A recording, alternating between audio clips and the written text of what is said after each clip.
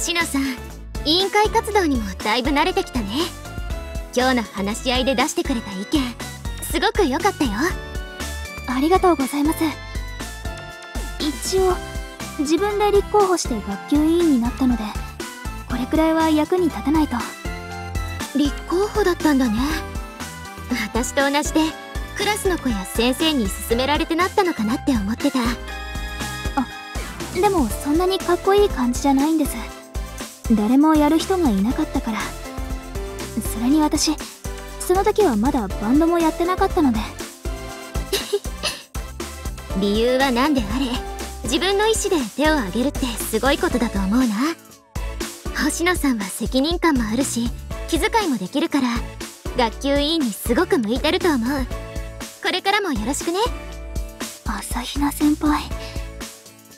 はいよろしくお願いします